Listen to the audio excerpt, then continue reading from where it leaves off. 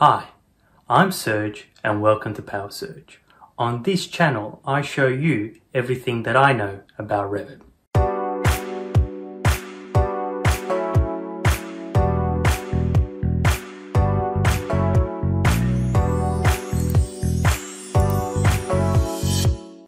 Do you have phased legacy models?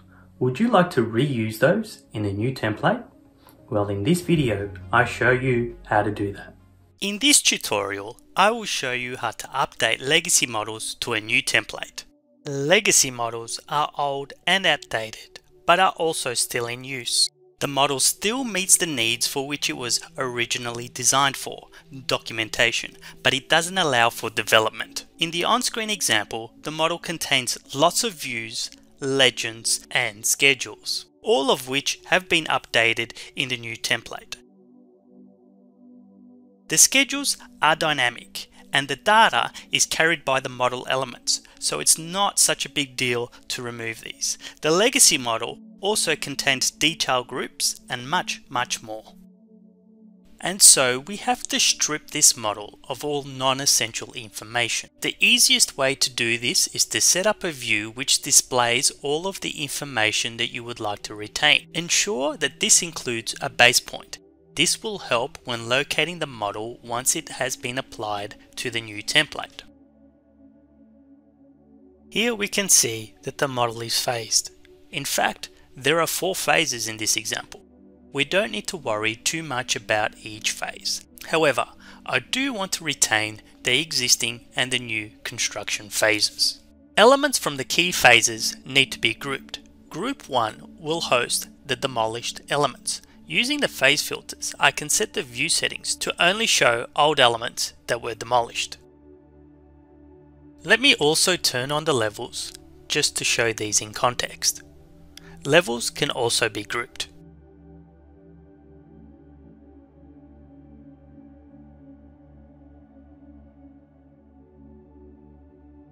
To group elements, simply drag the window across any item that you would like to include within your group.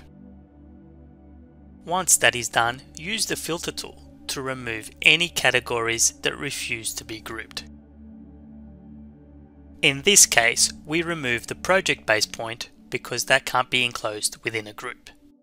Then from there, select the group icon, give the group a name, and proceed. Group 2 will contain all existing elements and also nest Group 1 which contained all of the demolished elements. I have a preset phase filter for this called Previous and Demo. And that is to show anything from the previous phase. Note, the current view is set to phase 3, the new construction phase. So in this case, the previous phase is phase 2, the existing phase. Because this is a legacy model, you may experience some mornings with regards to these groups. If the warnings aren't too offensive, they can just be handled later on. In this case, we have a couple of columns whose associations have been broken. The warning simply reports that these have been detached, and so it's okay to proceed. To close the group, I need to name it.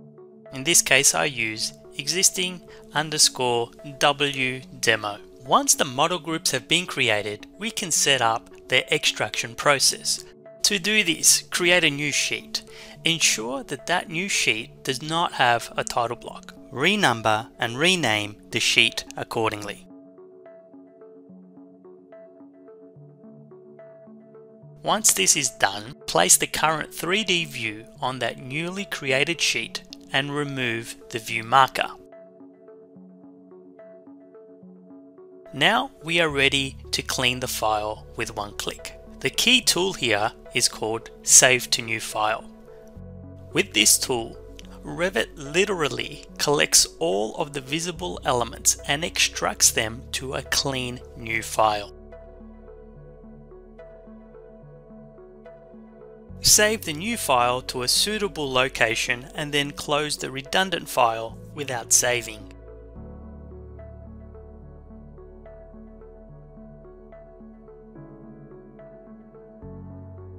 Once all that is complete, you can open the file that you have just exported to have a look. and check that all is in order. Be sure to click the audit option at the bottom of the menu to ensure that the file is healthy.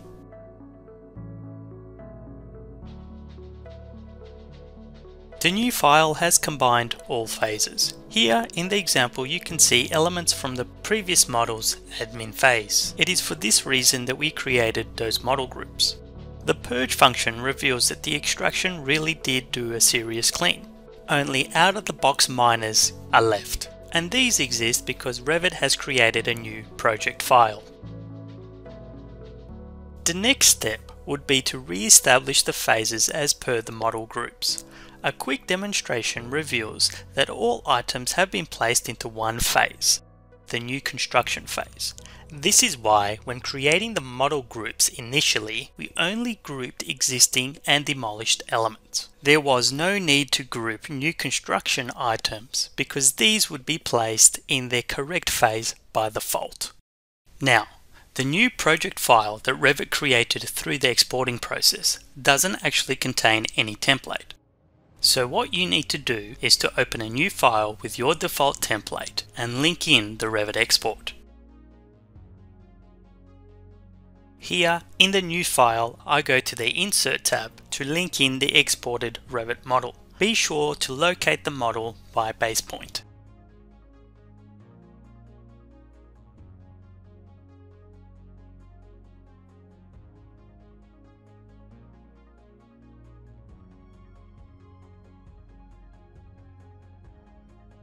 With the model now located by the base point, we need to align the new template levels to those in the exported and now linked model. To differentiate, go to Override Graphics in View, click by element or by category and then select half tone.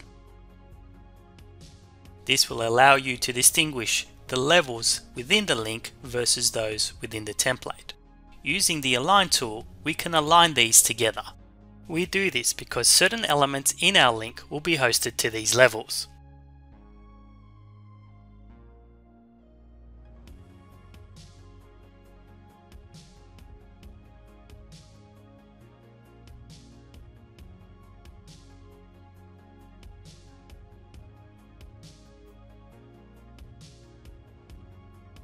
With the levels now in place, we can commence the binding process.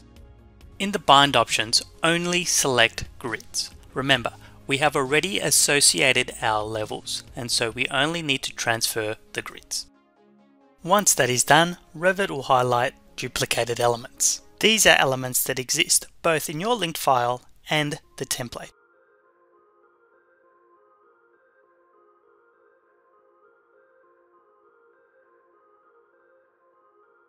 Once that process is complete, Revit may return some warnings.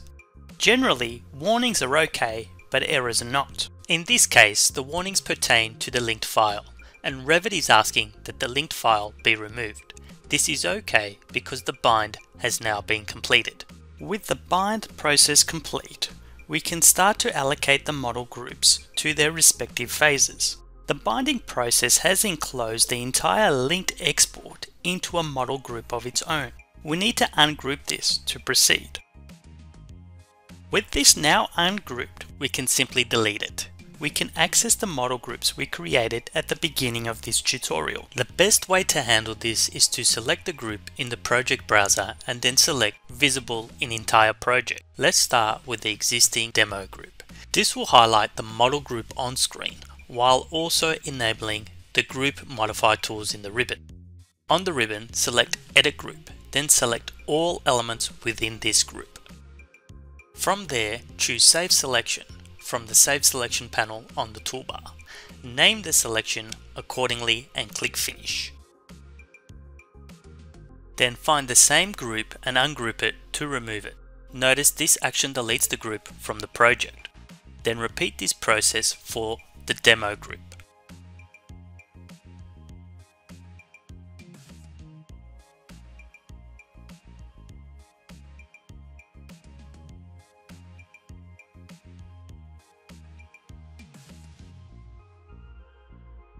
Once the selection sets have been established and the groups have been removed, we can load the selection sets back in. This can be done natively in Revit or can be done through the use of an app. In this case, the Die-Roots One Filter. This is a free app and I highly recommend it. In the app, find the selection sets previously created. Choose Set E. And with this selected, notice the app reports the element information for that selection set. Choose Select to grab the elements in Revit, then Isolate to isolate the elements in Revit. Shown on screen are the selected elements. You can now assign them according to the phasing parameters. Remember, this is the existing selection set, so it needs to be set to the existing phase. Repeat the steps for the other selection set. Set D includes all elements that have been demolished. Set the phasing parameters accordingly.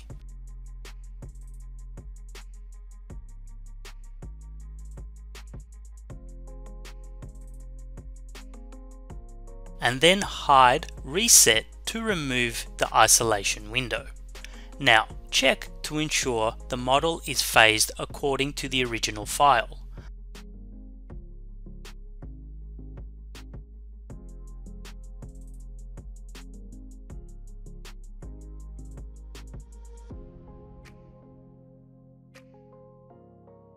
Finally, check that the template views have been correctly associated with the model.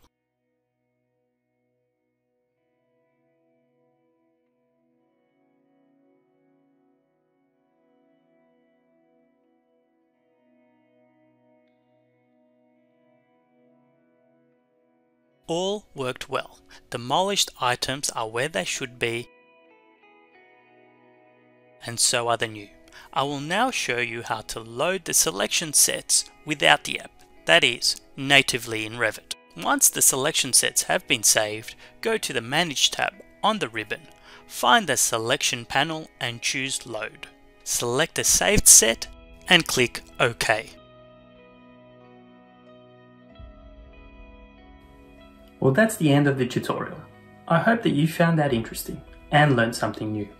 If you did, consider subscribing so that you don't miss out on any future content, and I will see you in the next video.